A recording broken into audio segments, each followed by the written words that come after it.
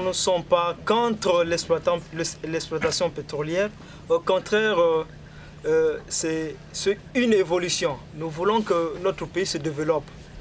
Puisque auparavant, on vivait seulement du bois qu'on vendait. Mais aujourd'hui, nous avons maintenant le, pétrole.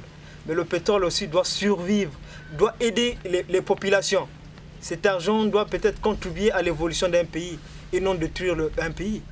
Donc nous voulons que, euh, que ces exploitations amènent au contraire la lumière et non faire vivre les gens dans l'obscurité.